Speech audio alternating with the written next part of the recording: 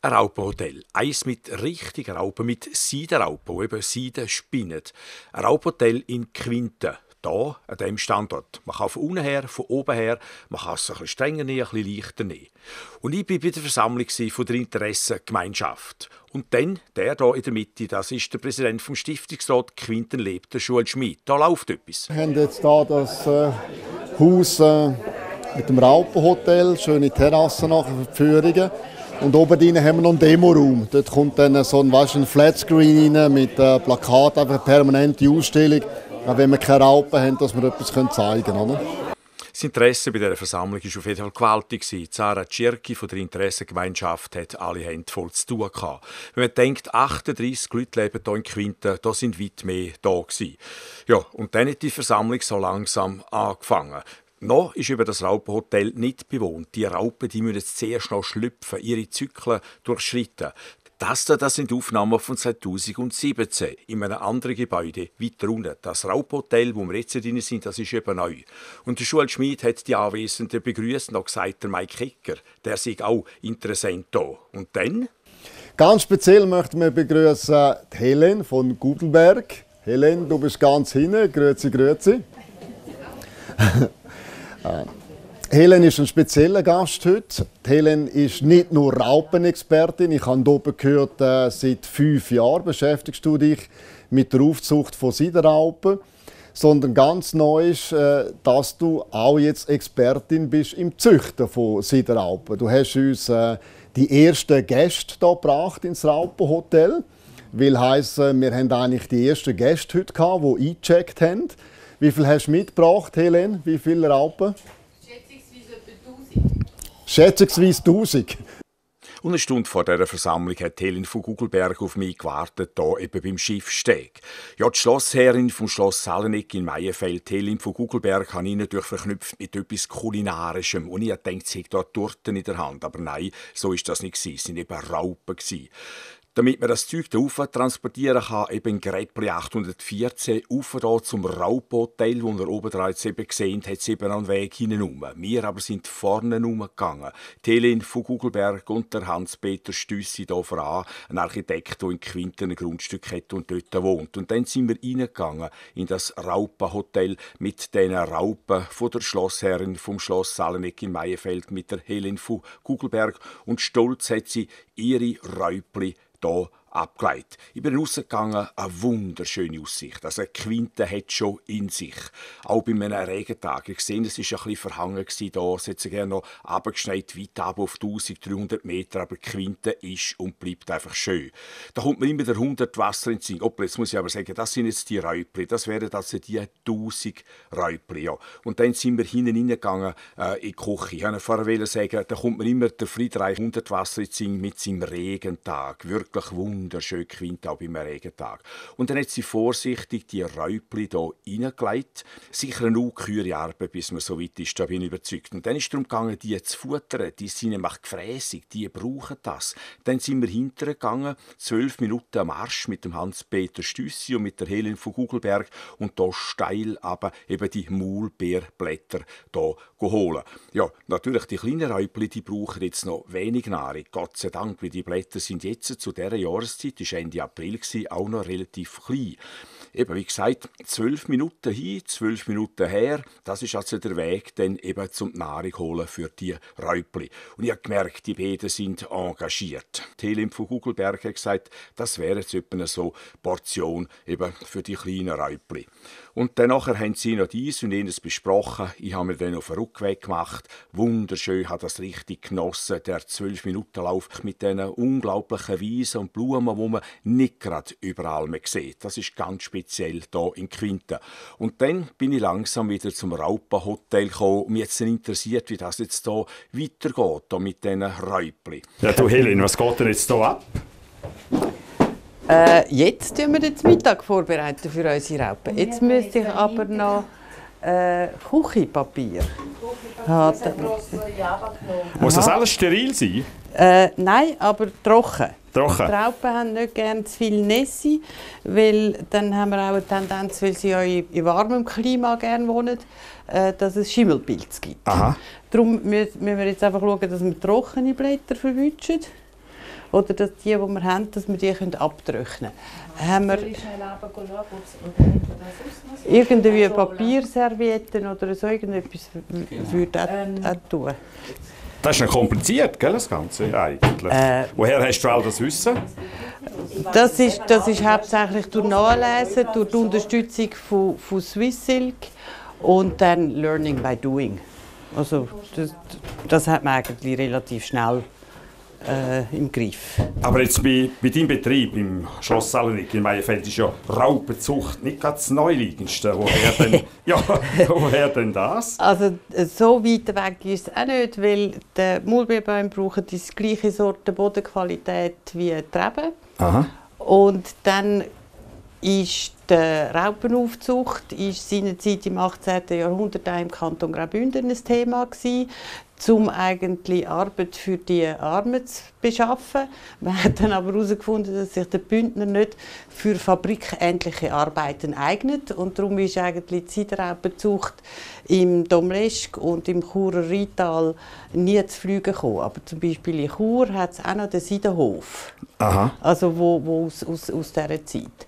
Und dann mit dem Saleneck zusammen ist es für mich eigentlich naheliegend gewesen, alte Sachen äh, auszuprobieren, damit einfach das Wissen nicht verloren geht. Du bist auch engagiert, gell? Wie im eigenen Betrieb. Wenn du etwas machst, dann machst du es recht. Man sieht es auch hier, gell?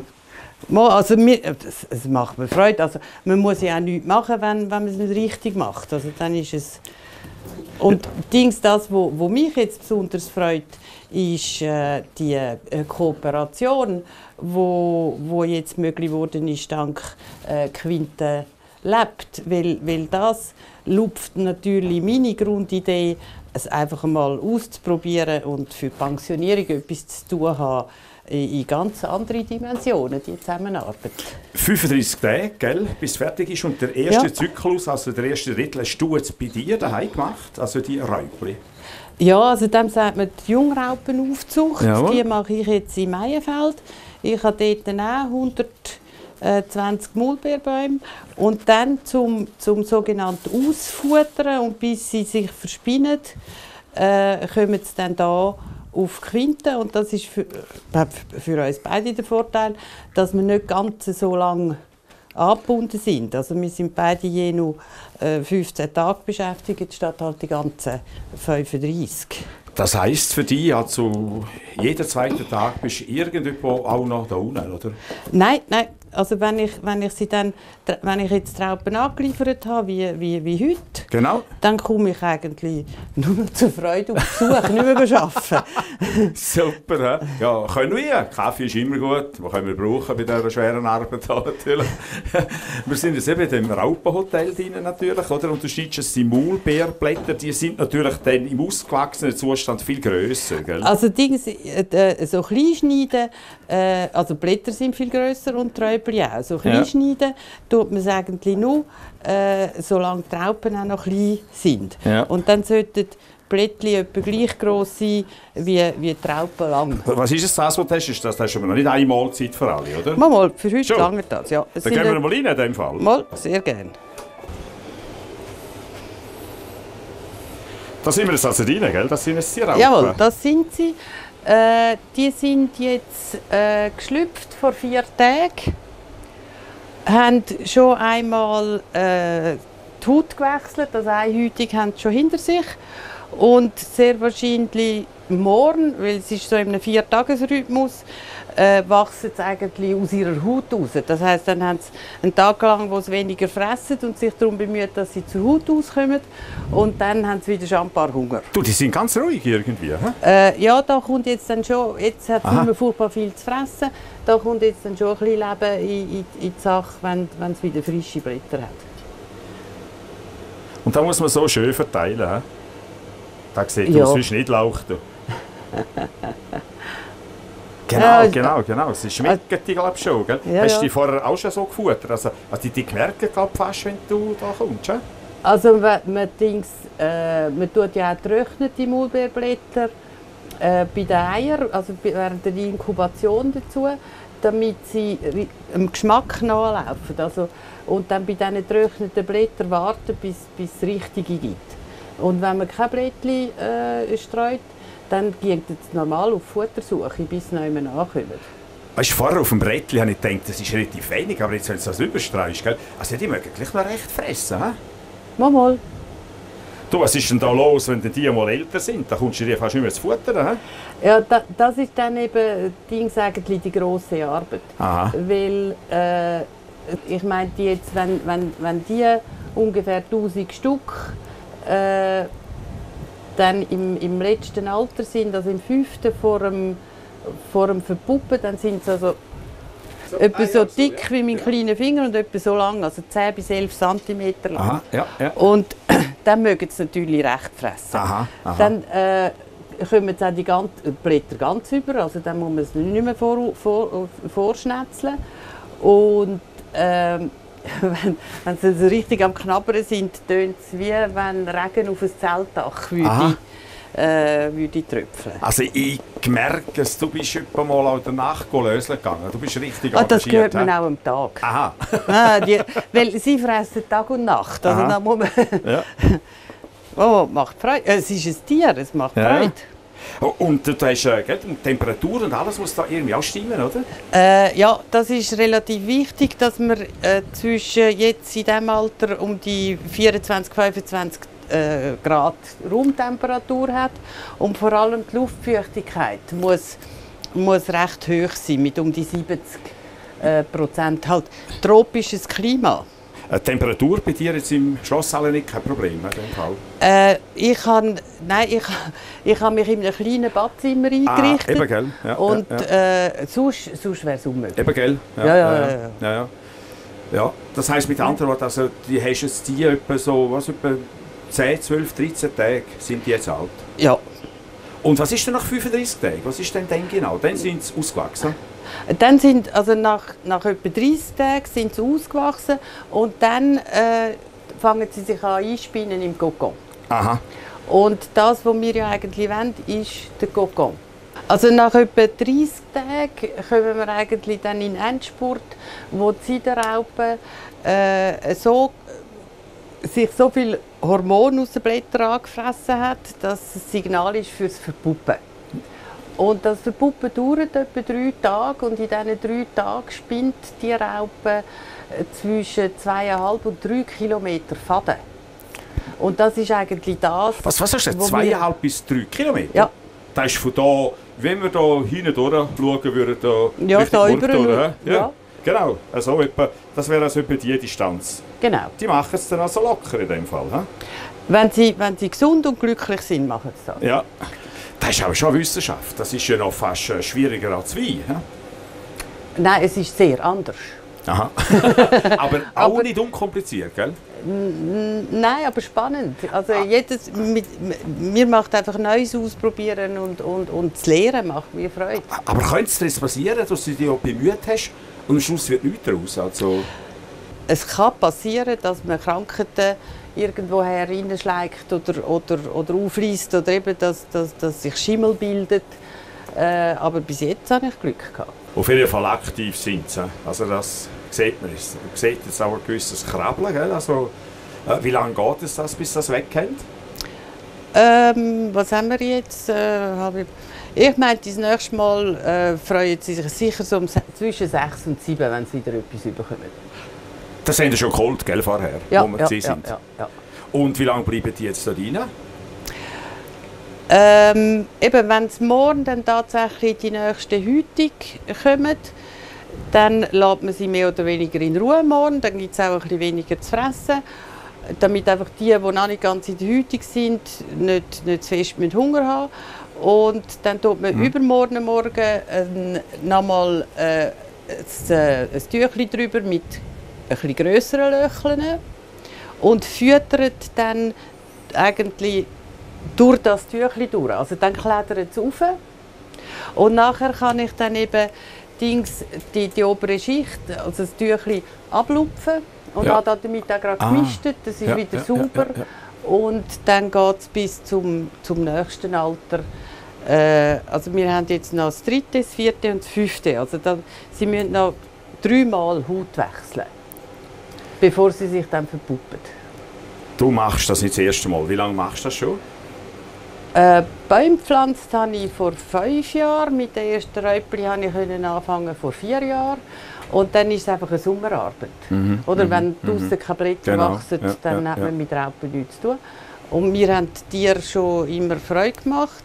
Und das Schönste finde ich da, dass es eben zeitlich begrenzt ist. Also es ist Tierhaltung mit Verfallsdatum. Ja, in dem Fall kann man nur sagen, he, toi, toi, toi. Und du bist irgendwie rundum zufrieden, auch jetzt gerade mit der Kooperation eben mit der äh, Stiftung Quinten lebt. Oder? Sehr, sehr. Weil, weil da miteinander äh, meinte ich, können wir, können wir mehr machen, als, als nur einfach Freude an, an den Tieren haben. Und damit wir auch sehen, wie schön das überhaupt ist, nochmal ganz schnell aufblendet, hinten dran Murg, ja, Murg und eben hier Quint. Also Quinten lohnt sich immer. Natürlich wegen dem Raubhotel, aber sicher auch aus anderen Gründen. Quinten lebt. Du lehnst so relaxed in einem Eckchen rein, für andere vom neuen Raupa-Hotel. Also es ist eigentlich schon schön zu Quinten. He? Ja, Quinten ist fabelhaft, da hast du recht, Hans-Jörg. Ich bin auch ein bisschen stolz auf uns. Wir haben 2017, du magst dich erinnern, sind wir so wie im Labor drin gewesen, noch im alten Raupenhotel, wo wir mal probiert haben, mit ein paar Räubchen etwas zu machen. Jetzt sind wir da 2019 im Mai haben vor 6000 Seidenraupen aufzusuchen im neuen Raupenhotel an einem wunderbaren Ort hier in Quinten. Wir sind auf der Terrasse draussen vom Raupenhotel.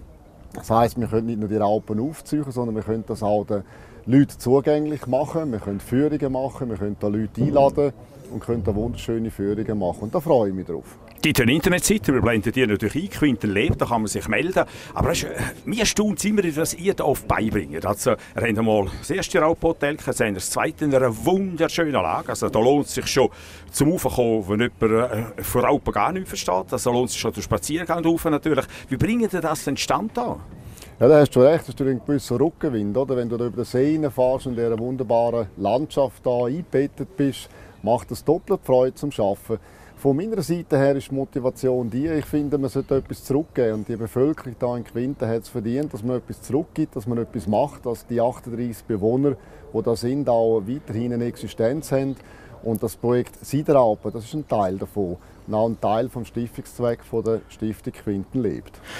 Wir haben natürlich auch eine wunderbare Unterstützung von der Bevölkerung. Also, du siehst es nachher, wir haben jetzt ja die Interessensgemeinschaft Quinten lebt wo wir zum sechsten Mal äh, zusammenkommen. Das sind 40, 50 Leute.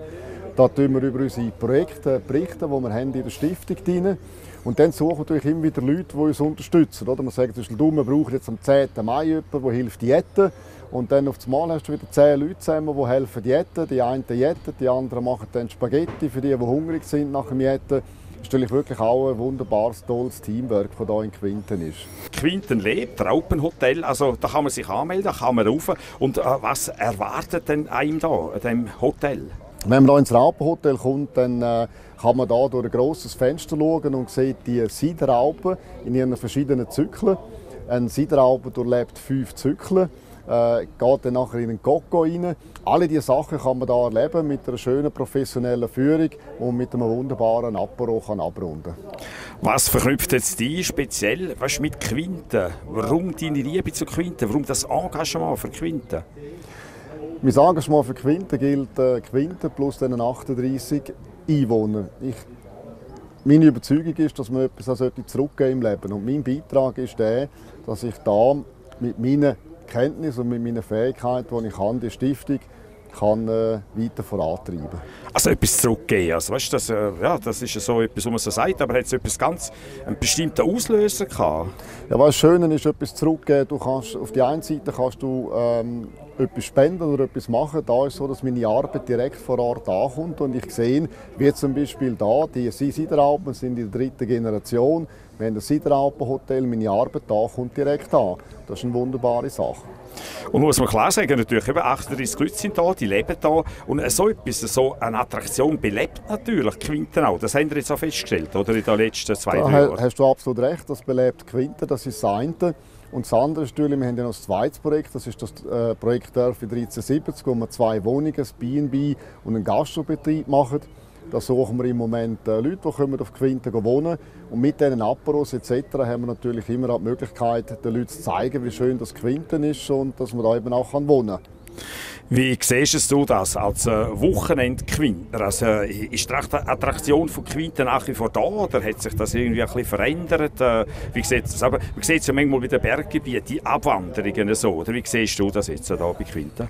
Also wir haben äh, die Wohnungen nicht allzu groß ausgeschrieben, haben aber doch eigentlich äh, einen regen Zuspruch von Interessenten, die sagen, sie wollen nach Quinten kommen. Weil weißt, wenn du einmal mit dem Schiff über bist, das dauert vielleicht zwölf Minuten, bist du in Murg oder Unterterz und hast eine Anbindung an öffentlichen Verkehr. Ich tue es immer mit Zürich. Wenn du in Zürich wohnst, musst du mit dem Tram zuerst an HB und vom HB gehst du nachher an äh, deinen Arbeitsort. Da steigst du einfach ins Schiff ein bist nachher in Murg und von dort weg gehst mit dem öffentlichen Verkehrsmittel nach Zürich und bist in 40 Minuten in Zürich. Also Quint ist sehr attraktiv.